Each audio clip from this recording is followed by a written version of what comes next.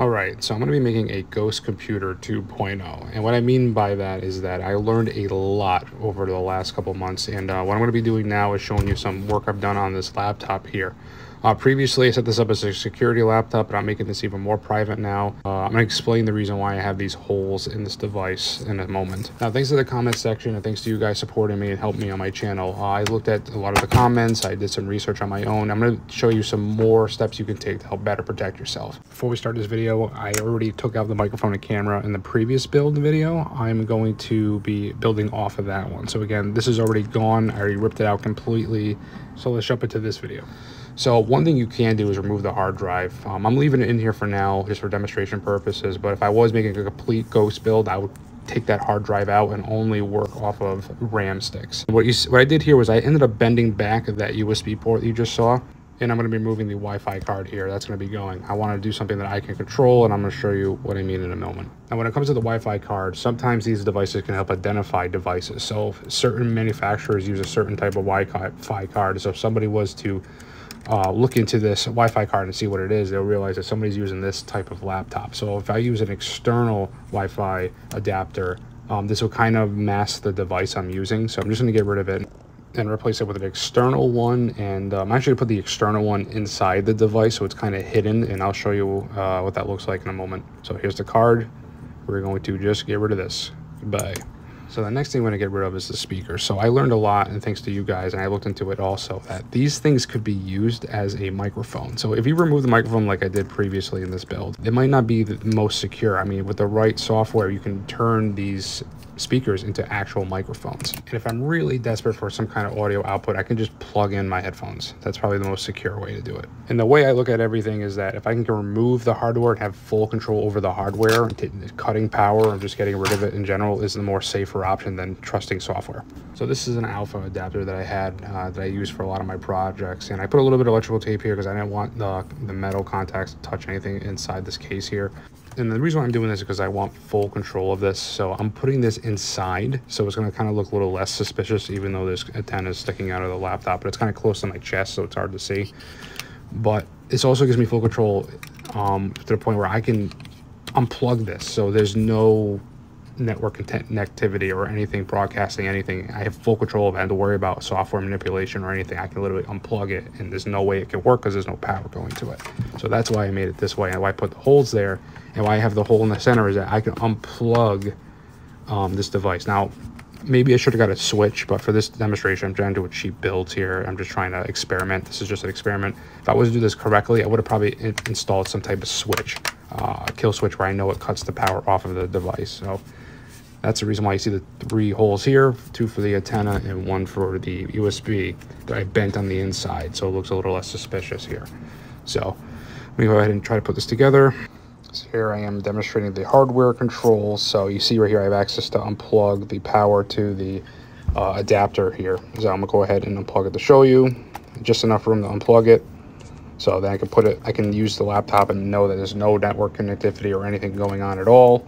Um, and I wanted to use it again, I could just plug it back in. This is what it looks like in the front. So it sticks out just a little bit without the antennas, so not too suspicious. So that's what it looks like when I put the antennas on. Honestly, I think it looks really cool. Um, definitely, again, not a fun experiment. And this is what it looks like. So it's less suspicious. And when you're near a laptop, it's kind of close to your chest. So it's not like on the outside where it looks super crazy. So to me, I think it's a stealthier way to have the antennas. But to do these types of Wi-Fi testing and be able to really use the hardware, I have to use like Kali Linux. So I ended up taking Parrot Security off because it just didn't play nice with the adapters. So I went back to Kali. So I think Kali is just a better overall operating system when it comes to the cybersecurity testing and pen testing stuff. So I recommend Kali. It just works better with adapters and everything. So that's why I used it. So here I am using Airgeddon. So I'm going to show you that the computer, it's working with the adapter I installed in it. I completely removed the one that came with the device. The only one that's available is the Alfa uh, card there. So if you look, there it is. That's the Alfa card. And I'm going to do a quick test so to show you that it is working and able to scan and monitor. And uh, here it is scanning networks around me. So everything is working the way I need it to work. So this is more of like a pen testing build um, you can also add layers like Who Am I? I got videos about how to install this on my channel. I'm going to ahead and install it on this new machine here. Okay, let's go ahead and run who am I. So you can see all the things you can do here, IP changer, MAC address changer. I got videos on how to do this stuff already on my channel and actually experimenting with it. So go ahead and go check those videos out. So now my favorite way of doing this is using something like Tails Linux. So this pen is a flash drive and I can plug this into the computer and boot Tails uh, off of it. I have builds about that on my channel, but Nevertheless, you're going to see me boot into Tails in a moment. This is a private-based operating system. It's my favorite operating system. It's built for privacy. Um, it runs off of a flash drive and off of your RAM. Also, this operating system helps you prevent against cold boot attacks, and I'll show you how to do that in a moment. Now just hit start Tails. This will allow you to use it and take advantage of the Amnesia um, feature here. So Amnesia basically is, it, after you're done with this, doing whatever you did, it completely er, erases it. doesn't have any existence at all. There's nothing saved on this device. Every time you use it again, it wipes itself. It just continually it goes through that loop. So one thing I need to teach you guys how to really take advantage of the anti-cold boot features is that you need to shut down the device properly. If you just yank the flash drive out, it doesn't write over the RAM. So right now, I'm pulling it out, it does shut the operating system down, but it doesn't shut it down the right way. Um, this uh, this leaves you vulnerable for those cold boot uh, attacks where they can pull the information off the RAM. If you do it the right way, where you fully shut it down, it writes over the RAM. So basically, it's like you having like a VCR tape and you you you record something over it. It's just like that. So you, you won't see anything original on the device or on the uh, RAM. It'll just be written over with a whole bunch of ones or zeros. So that's how it prevents you from cold boot attacks. Just make sure you shut down Tails properly so you can take advantage of that feature.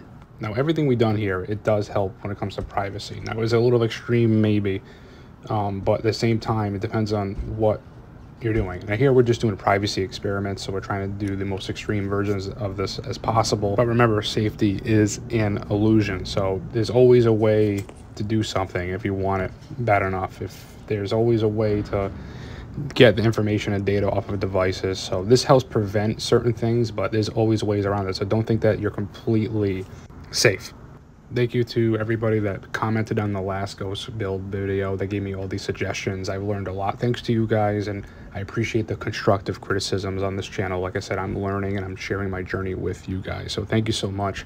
And uh, definitely go check out those other youtube videos. Who am i install there's actually a video where i show you how to change your ip address every second. And uh, there's a lot of cool tools that you can add on top of these ghost builds to make it even more beneficial for you and as always, don't do anything illegal. This is only for cybersecurity and computer experiments only. I'm just doing this for fun and learn. It's a good learning, hands-on experience for me to help understand hardware and how it affects your privacy.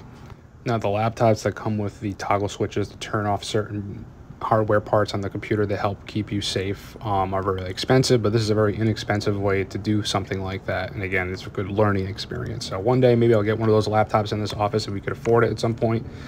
But again, I try to make this stuff as free as possible for you guys because I really believe in sharing knowledge and just learning with you guys and sharing the experience along the way. So thank you all for all your support. And remember, safety is an illusion. I'll see you guys in the next video.